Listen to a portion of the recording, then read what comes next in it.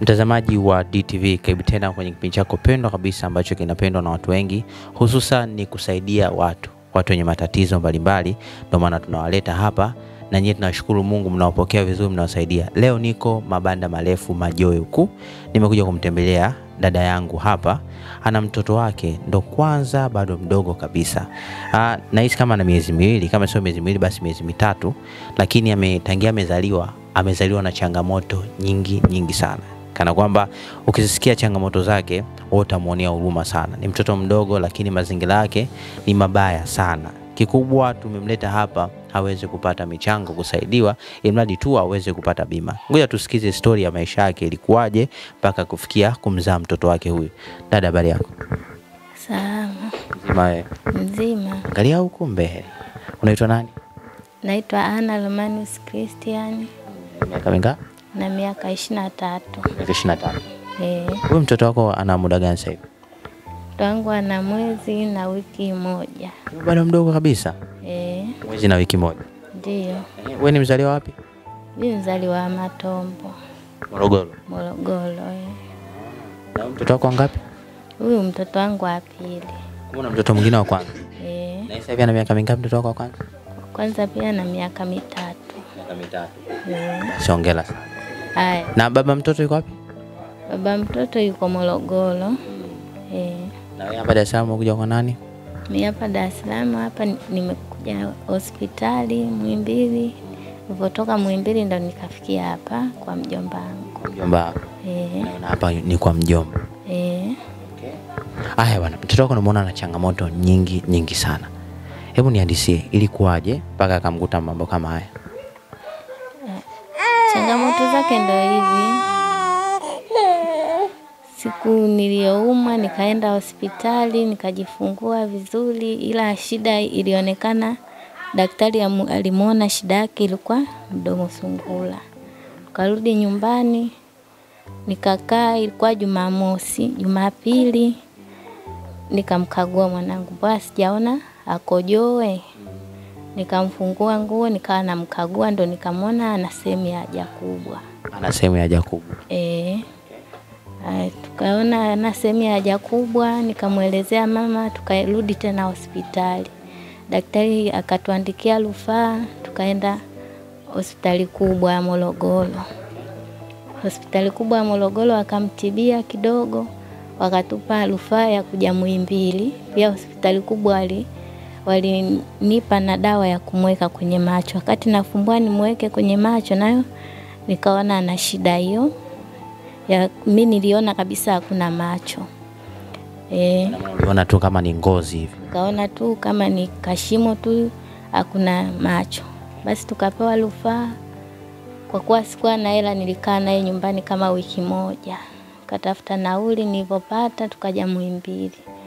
Muhimbili tukapokelewa pale, akaanza vipimo, pomaliza ndo akamfanyia operation kwanza ya hapa ya haja kubwa, akamfanyia hapa ubavuni hapa, ili aweze kupitisha choo kwanza, maana tumbo lilikuwa limejaa sana. We- Ana, akijisaidia huwa analia kwa sababu choo kilikuwa kinapita kwenye sehemu ya ya nani ya choo ya nani ya haja ndogo eh. Kwa baada ya hapo wakanipa kipimo kingine ambacho cha macho, akampima ultrasound ya macho, akasema macho yanayo, lakini anahitajika kufanyiwa operation. Eh, fanyiwa operation aweza wakamfanyia sasa hivi ameniambia kwa hadi atakapo ata, watakapomfanyia nanili watakapomfanyia hapa ya mdomo wamshone kwanza, ndo hivyo wam, wamfanyie hapo ya macho ameniambia mpaka afikishe miezi mingapi? Atakapofikisha miezi mitatu e. Na, na ya mdomoni pia mpaka miezi mitatu. Ya mdomoni wameniambia mpaka miezi mitatu na asipungue chini ya kilo tatu kilo, kilo sita asipungue kilo sita eh, Haya bwana. Eh, mtoto mdomo wazi. Unamlishaje lishaje? Ananyonya kawaida? Hapana, hawezi kunyonya kawaida, huwa namkamulia muda mwingine kwenye kikombe nampa, muda mwingine nampia kwenye ki, kinani kichuchu kile ndo anapata kuyavuta. Na madaktari wamekwambia, je, kuna sababu yoyote mpaka mtoto amezaliwa namna hii? Eh, wameniambia kuna sababu, kwa sababu nilichelewa kuanza kliniki. Eh, kitu kama hiki. kwa hiyo ikapelekea kitu kama hiko, akaniambia kuwa sikuwa na meza vidonge vile vya folic acid. Haya bwana, na mume wako naye anafanya kazi gani? Mume wangu chinga tu, an- kwa Morogoro chinga tu, anatembeza tembeza biashara ndogo ndogo. Eh, Kopesha kopesha. eh, Eh, mtazamaji wa DTV nadhani mmemsikia dada hapa. Stori yake sio ndefu sana, lakini kwa watu ambao mmemsikia mmemwelewa. Tumeelezea tu stori yake ya mtoto, kwa sababu kikubwa sasa hivi tunemlenga ni mtoto. Mambo ya familia nini, kila kitu tuyaache sasa hivi, tuangalie swala la mtoto ili tuweze tu kumsaidia.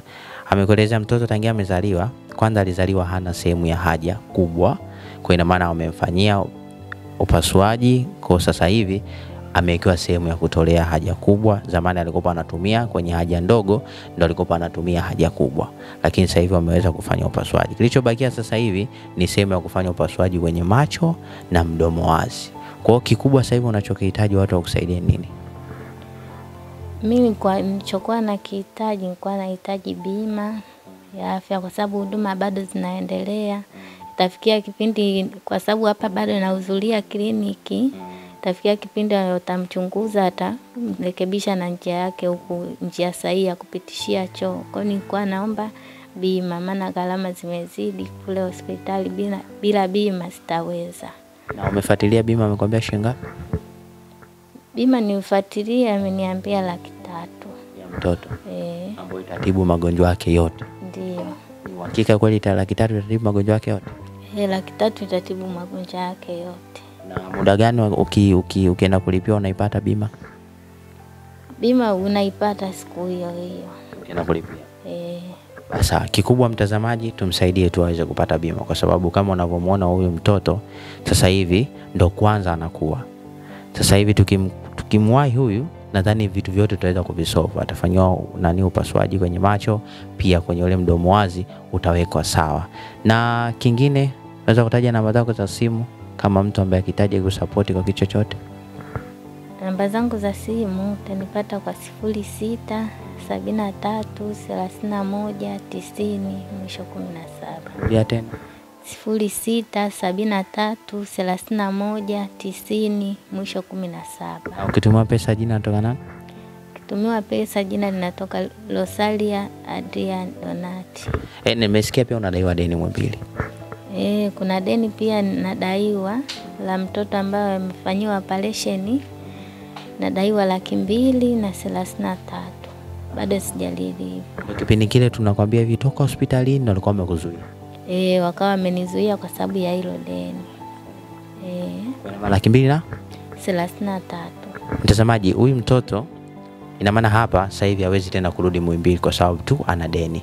Kwa hiyo ili aweze kurudi Muhimbili tumkatie bima, kikubwa tulipe hili deni kwanza laki mbili na ngapi? laki mbili na thelathini na tatu. E, laki mbili na elfu thelathini na tatu imradi tu aweze kurudi tena Muhimbili, akirudi apokelewe. Tulikopo anatueleza changamoto zake, lakini tukashindwa kumsaidia kwa sababu alikopo hospitalini na walimzuia hospitalini kutoka kwa sababu alikopo anadaiwa. Kwa hiyo tumsaidie udada, imradi tu haweze kumsaidia mwanaye. Tukimkatia bima leo hii itamsaidia huyu mtoto kuweza kutibiwa magonjwa yake yote ambayo sasa ana magonjwa matatu. Anatakiwa afanyiwe upasuaji kwenye mdomo, anatakiwa afanyiwe upasuaji kwenye macho na kingine atakiwa afanyiwe upasuaji kwenye haja kubwa. Mtoto ni mdogo, anapitia mateso makubwa kama haya. Kwa hiyo sisi tukifanikisha kumsaidia kwa mapema mtoto huyu, nadhani mpaka akifikisha mwaka mmoja, haya matatizo yote atakuwa tayari kwake ameshaondoka. Kwa hiyo tujitahidi kwa nguvu zenu tuweze kumwokoa kiumbe huyu wa Mungu, bado mdogo sana. Ukimsaidia mtoto mdogo kama huyu leo, utapata baraka sana kwa Mwenyezi Mungu, kwa sababu leo akikua atakuwa na mchango wako wewe katika maisha yako. Kwa hiyo nakuomba umsapoti mtoto huyu mradi tu aweze kupata msaada wote. Kwa hiyo nakusii, chukua namba za simu zinapita hapo chini, mpigie simu, mpe ushauri. Kama daktari una uwezo kumkatia bima, mpigie simu, bwana, mimi na uwezo kushika hili swala lote nikamkatia bima udada, mpigie simu, bwana, mimi na kitu fulani, mtoto wa namna hii anatakiwa avae kitu fulani, avae kitu fulani, pia atakuwa ni rahisi. Na pia nimeambiwa kuhusu masuala ya pampers, ndio E, kwa sababu alipofanyiwa mm, operation panatakiwa pawe pasafi muda wote. Kwa hiyo kuna vitambaa ambavyo vinahitajika laini na vepesi kwa ajili ya kumweka pale na pamoja na pampers. E, Hapo gharama yake shilingi ngapi? gharama yake pampers sijajua, ila vitambaa vile navyo pia nilikuwa nanunua kimoja wakati niko hospitali Muhimbili, kilikuwa kinauzwa shilingi elfu mbili. Kimoja. Eh, Kwa maana hicho kimoja unakitumiaje?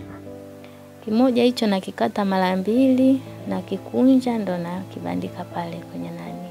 Kwa maana hapo akishajisaidia unakitoa. E, akishajisaidia nakitoa namweka kingine. Ina maana huwa zinauzwa zile carton. E, zinauza carton. ila mimi kwa kuwa sikuwa na hela nikawa nanunua kimoja kimoja. Sawa, nadhani watu watakuchangia, utanunua carton, utachukua na zile pampers zote sawa za mtoto eh? Sawa eh? Eh, usijala, ninaamini watu watakuchangia. Sawa dada.